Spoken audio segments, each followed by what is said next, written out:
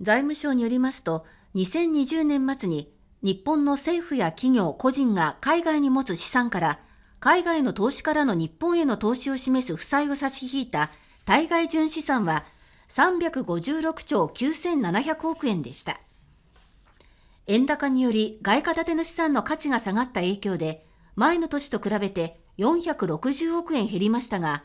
日本はドイツの323兆円香港の223兆円を上回り30年連続で世界最大の債権国の座を維持しました。